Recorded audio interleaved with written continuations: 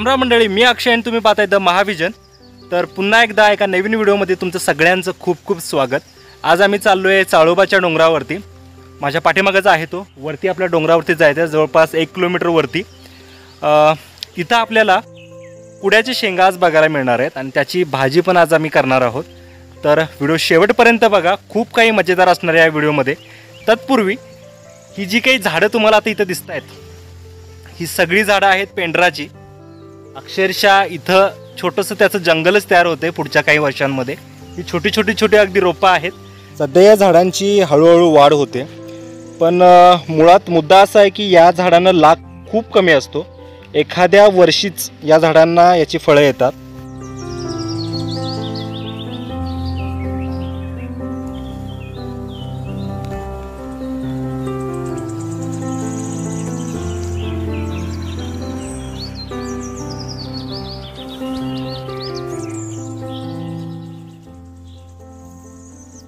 तर मित्रांनो ही आहे भांगडीची भाजी. याला काही ठिकाणी भारंगी असं म्हटलं जातं.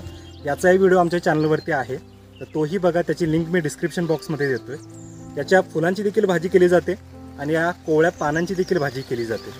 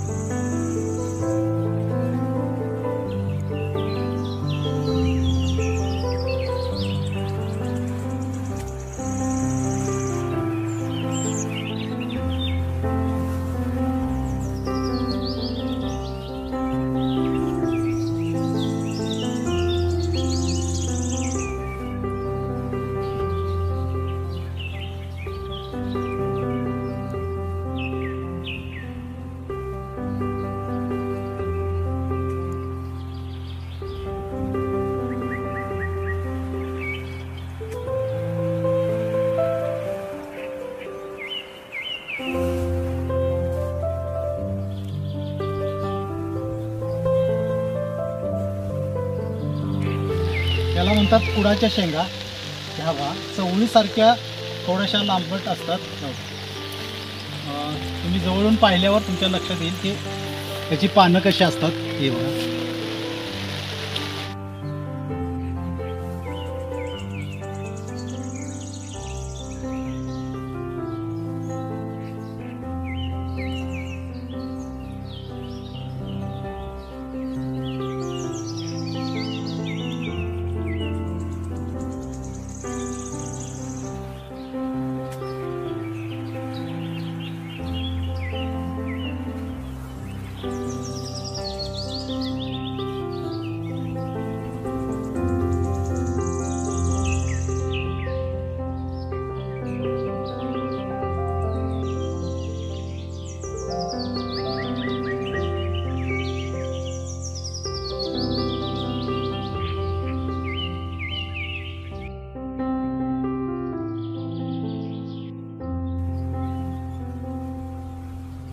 मित्रांनो सांगायचा मुद्दा हा की यंदा या झाडाला लाभ खूप कमी आहे. अगदी एका एका झाडाला मोजक्याच म्हणजे अर्धा अर्धा शेंगाच फक्त मिळत आहेत प्रयत्न करू की जास्तीत जास्त शेंगा कुठे मिळत आहेत का? अजून बरीचशी झाडं आहेत या परिसरामध्ये.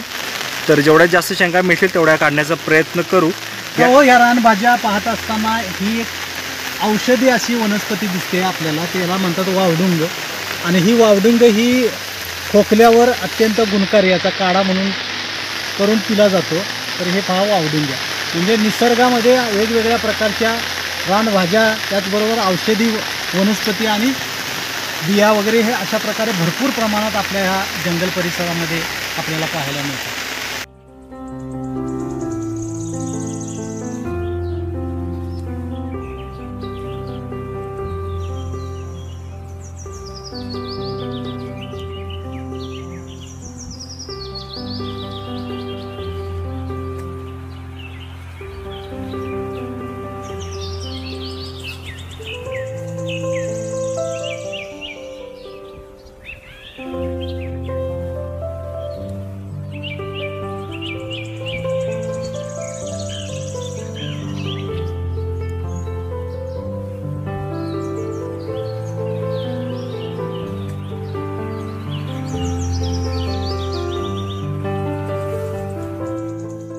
तर मंडळी एवढ्या शेंगा मिळालेल्या आहेत आणि आत्ता आम्ही निघालोय घरी.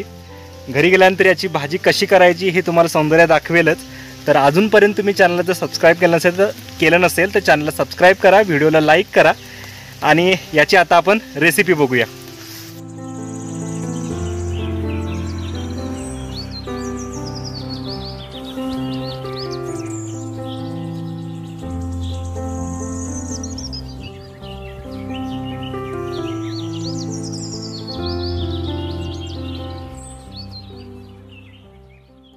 तर आज आपण कुड्याच्या शेंगांची भाजी करणार आहोत. तुम्ही पाहिलंच शेंगा काढून आणताना. याच्या फुलाची सुद्धा भाजी केली जाते. पण ते एक मेच्या दुसऱ्या आठवड्यानंतर सुरू होते भाजी. आम्हाला ती यंदा करता नाही आली. नेक्स्ट इयर आम्ही नक्की करू. तुम्हाला नक्की रेसिपी दाखवेन मी. तर सध्या आपण ही करणार आहोत. पण ह्या शेंगाई आता जून होत आलेत आम्हाला लेट झाला ही भाजी करायला यंदा. तर जेव्हा ह्या कोवळ्या असतात तेव्हा ह्याचा ल- रंग हा लालसर असतो थोडासा तांबूस. आणि जशा जून होतील तशा या थोड्याशा ग्रीन डार्क ग्रीन मध्ये होत जातात.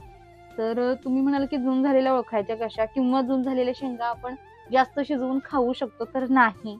ह्या जेव्हा जून होतात तर ह्याच्यात काहीतरी कापूस टाईप सबस्टन्स तयार होतो. हे बघा. तर हे आपण नाही खाऊ शकत. ह्या शेंगा जेव्हा कोवळ्या असतात आतमध्ये कापूस नसतो. हे बघा. जेव्हा कापूस नसतो तेव्हा ह्याच्यात चीक असतो हा व्हाईट यासाठी आपण ह्या शेंगा शिजवून पिळून टाकतो. या भाजीचा मुख्यतः उपयोग हा भुकेसाठी केला गेला जितका आम्ही इथे आमच्या इथे रिसर्च केलं आहे डायबिटीजसाठी ही भाजी उपयुक्त आहे. आणि पोटाच्या विकारांसाठी. प्रत्येक रानभाजीचा असा काही ना काही औषधी उपयोग हा असतोच आहेच. कारण ते निसर्गानं दिलेलं असतं. मी इथे या शेंगा कुटतीये तुम्ही कट करून सुद्धा घेऊ शकता काही प्रॉब्लेम नाही. कट करून तुम्ही शिजवून पुढची रेसिपी मी सांगते. या शेंगा मी आता छान कट करून घेतल्यात. एक एक कुटायला वेळ लागत होता सो मी ह्या पटपट कट करून घेतल्यात. तर ह्या आपल्याला आता स्वच्छ धुवायच्या आहेत आणि शिजत घालायच्या आहेत तर शिजत घालताना ज्या काही इन्स्ट्रक्शन्स आहेत मी त्या तुम्हाला पटकन सांगते. धुवून घेऊया पटकन. याच्यात चीक असतो. तुम्ही पाहू शकता हे पाणी असं दुधकट दुधकट झालेलं आहे. याच्यात चीक असतो. म्हणजे हातही चिकट झालेले आहेत. तर हा जाण्यासाठी आपल्याला शिजत घालताना थोडीशी काळजी घ्यायची आहे.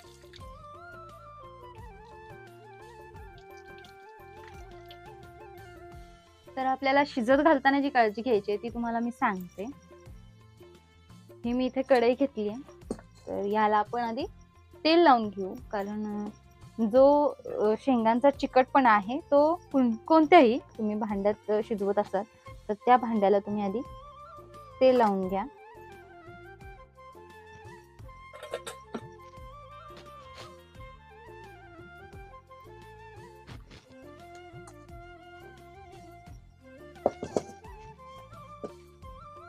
हा तेलाचा हात मी इथे शेंगांनाही पुसते.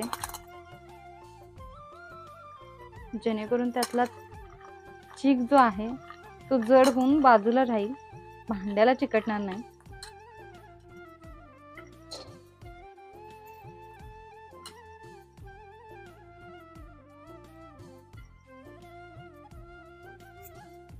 म्हणजे यात आपण आता मीठ घालणार आहोत.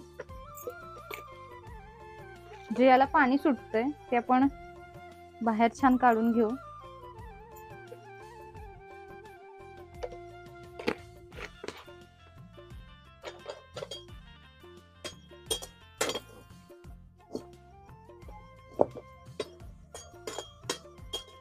हे मिठात भाजून घेतल्यामुळं यातला जो चिकाचं जे प्रमाण आहे ते कमी होईल. म्हणजे शेंगेला चिटकून नाही राहणार ते. ड्राय होऊन जाईल. तर आपण हे आता शिजत घालूया.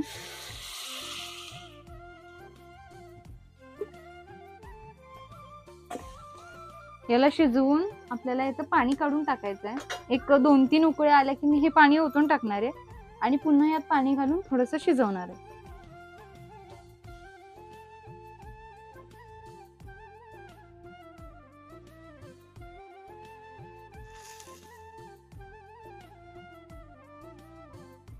शेंग आता व्यवस्थित शिजलेली आहे. आपण हे उतरून घेऊ.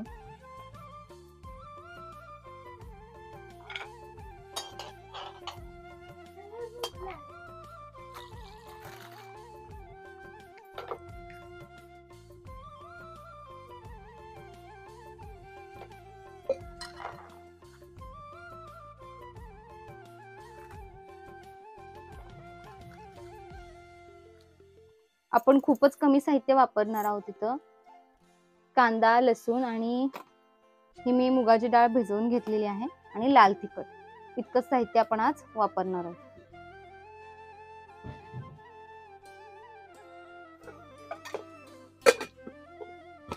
बटाटा ढबू किंवा फ्लॉवर कोबी ह्या पचायला हलक्या असणाऱ्या भाज्या म्हणजे पटकन शिजतात किंवा अर्ध्या किंवा अर्ध्या कच्च्या आपण खाल्ल्या तरीही त्या आपल्याला पचायला जड जात नाही. पण रानभाज्या ज्या असतात त्या थोड्याशा पचायला हेवी असतात. सो त्याला जास्त शिजवावं लागतं. कांदा लसूण आपण परतून घेऊ. भाजी आपली थोडीच आहे. तो मी ह्यात एकच चम्मच तिखट घालते. ही ही डाळ तेलातच परतून घेते.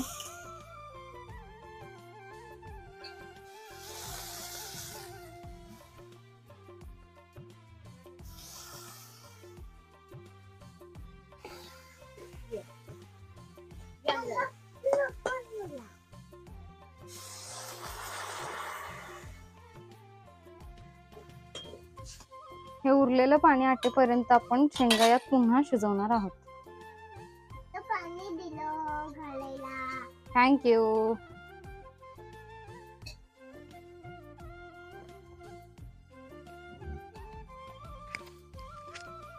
एक पाच ते सात मिनिटात आपली भाजी तयार होतीये. यात आपण दोन वेळा मीठ घालून शिजवलंय सो पुन्हा मीठ घालायची गरज नाही. तुम्ही चव बघून मीठ घालू शकता. तर खूप अशा कमी वस्तूंमध्ये मी पदार्थ तयार करते. माझ्या रेसिपीज फार काही वेगळ्या नसतात. फक्त ह्या जुन्या रेसिपीज आहेत. या रानभाज्या आहेत म्हणून मी तुम्हाला दाखवते. आणि तुम्हाला हे सगळं कसं वाटतं हे कमेंटमध्ये आम्हाला नक्की कळवा. आम्हाला खूप छान वाटतं कमेंट्स वाचायला. कारण ते तुमचं आमच्याबद्दलचं मत असतं आणि ते आम्हाला खूप छान वाटतं. काही सूचना असतील तर त्याही सांगा. आम्ही ते नक्की फॉलो करू. आणि चॅनलवर नवीन असाल तर चॅनलला सबस्क्राईब करा व्हिडिओला लाईक करा शेअर करा. आणि कमेंट करायला अजिबात विसरू नका. पुन्हा भेटूया एका नव्या रानभाजीसह एका नव्या रेसिपीसह बाय बाय